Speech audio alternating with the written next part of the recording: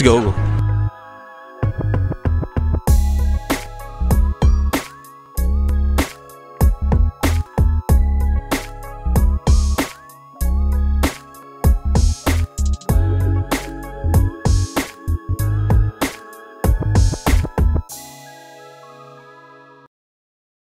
Hello Tomodachi!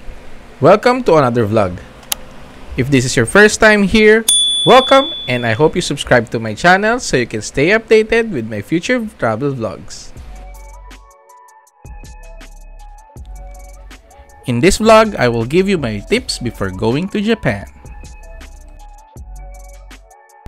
So, ang mga tips ko before going to Japan this spring season is of course number one, dapat limited lang yung dalhin yung damit. Yung mga pang spring lang na damit. Tulad na itong suot ko guys. Ayan, jacket lang, shirt. Kasi malamig siya pag gabi hanggang umaga. Pero pag mga bandang tanghali kung kailan kayo gagala, medyo around 18 to 20 na yung degrees niya dito. So, maaraw. At the same time, malamig yung hangin. So, okay lang yung mga ganitong suot. And of course, kung magdadala kayo ng bagahe, dapat yung tama lang, sakto lang bakit? Kasi syempre, for sure, pag pumunta kayo ng Japan, bibili kayo ng mga pasalubong, ng mga gamit nyo, sneakers, mga damit, ganyan. So, syempre, maganda, mas, mala mas malawak yung space ng bagahe nyo para doon yung malalagay yung mga pampasalubong nyo at yung bibili nyo para sa sarili nyo. And, syempre, dapat, ang ginagawa ko kasi ako, marami akong sneakers sa bahay. Pero, ang dala ko lang ngayon is, yung two pairs lang. Yung suot ko, pati yung nagdala pa ako ng isa para sa ilagay ko sa loob ng bagahe ko.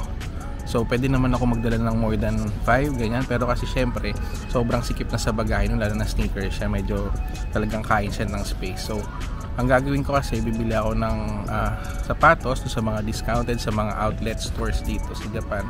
So yun yun sa mga suggestion ko sa inyo na konti lang yung pairs ng shoes na dalhin nyo kung plano nyo talagang bumili rin ng shoes dito sa Japan. So for sure magbo-vlog ako dito sa mga outlet store na pupuntahan ko. So watch out for that. And additional pa yan, syempre dapat dalhin nyo yung mga essentials nyo like power bank. Yan, number one yan. Lalo na kung kayo nagbo-vlog, nagbi-videos. Importante, importante yan. Of course, yung charger, isa rin yan. Yung, yung cord, syempre, kukonek sa power bank. Tapos, of course, eSIM or pocket Wi-Fi, Wi-Fi or yung SIM card mismo. So kami ang pinili namin is eSIM via Airalo. So papakita ko sa inyo yung mga kung magkano yung mga data plans nila and kung paano mag-register. You can go to their website www.airalo.com, choose Japan and then select the plan that best suits your needs.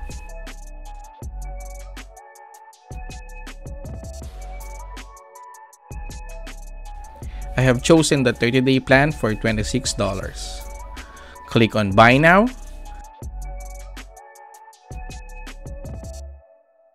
Make sure to log in or sign up if you do not have an account yet.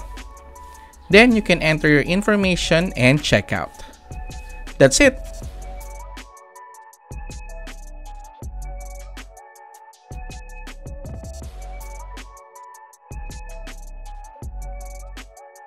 Can also get $3 off when you use my code KENJIN3147. You can also download the app to make it easier for you to monitor your usage. Isa pa guys is yung itinerary receipt. Kasi siguro iba sa inyo dati piniprint out pa yon so ngayon meron na siyang QR code. So isa-save nyo lang yung QR code ng itinerary receipt nyo. Save nyo sa phone nyo. Tapos yun na yun na lang i-scan nyo pagdating nyo sa airport Another one is yung sa Visit Japan Web. So sa Visit Japan Web, kailangan nyo yung fill pag darating kayo dito sa Japan. So papakita ko yun dito yan guys. Yan yung Visit Japan Web. So bakit nyo kailangan mag-fill out para pagdating nyo ng Japan hindi na kayo dito magsusulat kasi kung naalala nyo dati uso yun di ba yung pagdating nyo ng yung embarkation card fill out nyo pa yun mag yes no yes no pa kayo doon so hassle sayang oras so Pagkatapos yung mag-fill out, bibigyan kayo ng QR code, i-save nyo lang sa phone nyo. Of course, i-scan nyo lang yan pagdating nyo doon. So, good to go. So, last is yung e-travel. If you are departing or going sa Philippines, dapat mag-fill out kayo nun. And ito, ilalagay ko siya dito. Yan. Fill out kayo niyan. Of course, bibigyan din kayo ng QR code after yung mag-fill out. Yun din yung i-scan nyo doon pagdating ng Pilipinas or pag palis na kayo ng Pilipinas. Kaya yun, importante importante ang mga. So, tatlo yun.